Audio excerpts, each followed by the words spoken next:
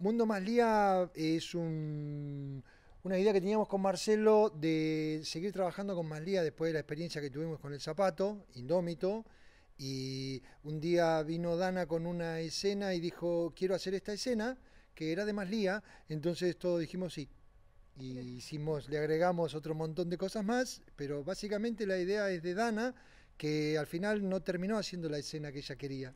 Leo Maslía es un autor eh, uruguayo, em, es músico, es concertista y es eh, escritor.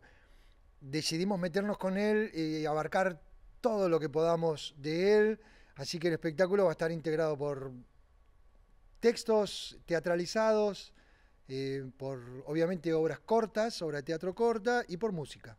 Maslía tiene una, un espectro muy amplio dentro de lo musical, em, muy original y muy experimental y un poco se trató de buscar para este espectáculo algo que abarque un poco de ese espectro y que nos dé quizás a entender algunos de esos diferentes tintes dentro de la vasta producción que tiene Maslía, que es muchísima realmente.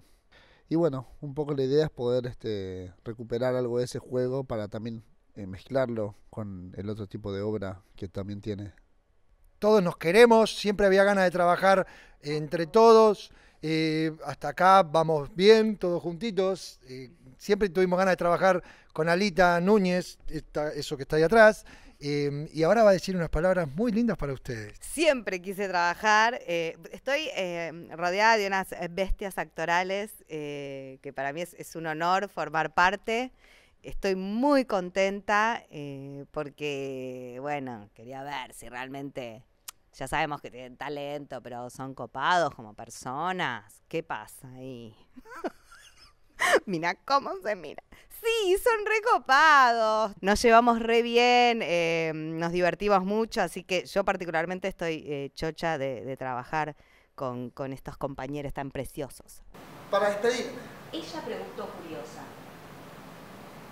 ¿Y por qué a mí?